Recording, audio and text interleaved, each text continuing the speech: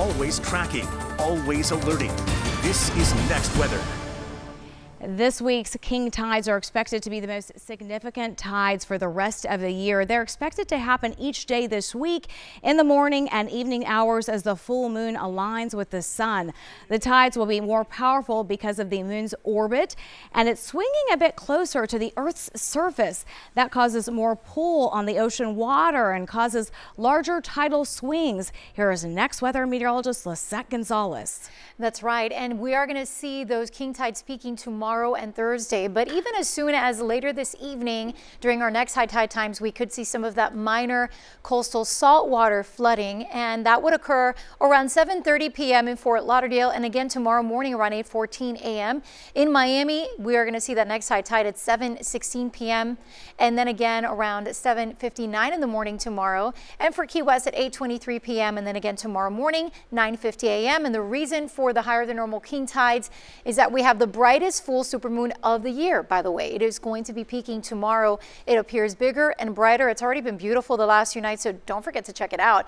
And that's leading to those higher tides. It's also known as a full beaver moon, by the way, and peak illumination takes place tomorrow at 8:19 a.m. It'll appear full, though, tonight and tomorrow, and it's named after beavers preparing for hibernation. Then on top of that, we also have the wind, which is now moving in off the ocean, 12 to 13 13 miles an hour. That's strong onshore flow. Right now we're cloudy as we look at our next weather radar and satellite. And we're seeing temperatures are hovering in the upper 70s, 79 in Fort Lauderdale, 78 in Miami and Homestead, currently 77 in Marathon and in Key West. So if you want to walk your dog, you know, right now the temperatures aren't too warm, at least not as warm as yesterday. And Benny here is looking for a home. So if you want to adopt him, certainly take advantage and call as we have the Miami-Dade Animal Service services sending us photos as well of dogs in need of their forever home. And we're going to see temperatures right around 80 the rest of the afternoon because of the clouds. So it's good dog walking weather even through this evening. Send your photos to pics at cbsmiami.com. I'll continue to share them.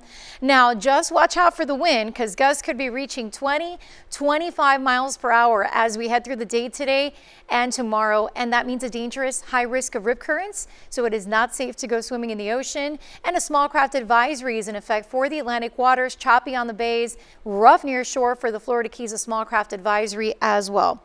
Now, tracking the tropics, I do have good news as currently no tropical development is expected here over the next seven days. And of course, we'll take that. And hurricane season is not over till the end of November. We'll be watching and keeping you updated. Meantime, the next few days, we're going to warm up slightly and we'll see a 10% chance of rain through Thursday. Though, as we head towards the end of the week, the winds will begin to subside a bit and we'll see warmer weather for the weekend with highs in the mid to upper 80s and the rain chance will rise a bit too. We'll see spotty showers heading into Friday, Saturday, and Sunday.